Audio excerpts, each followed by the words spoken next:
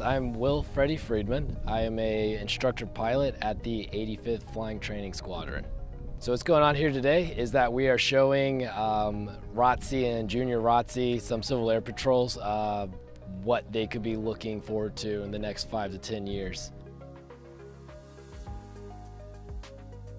There's just kind of a bug that bites you uh, being an aviator. And if all of them here today have that bug, then I want to be in charge of uh, making them a pilot.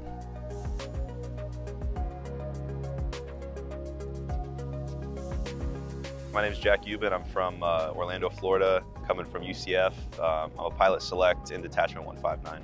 Getting the opportunity through the AIM program to come out here and, and just see everything has uh, been a blast.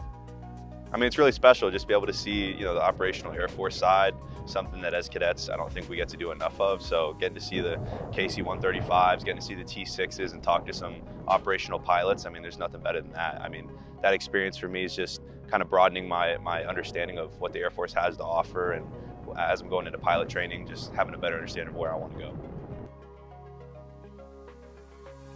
What we're going to be looking in the future is not really the kinetic warfare that we're used to. We need to find people that can solve problems in ways that we haven't even thought of yet.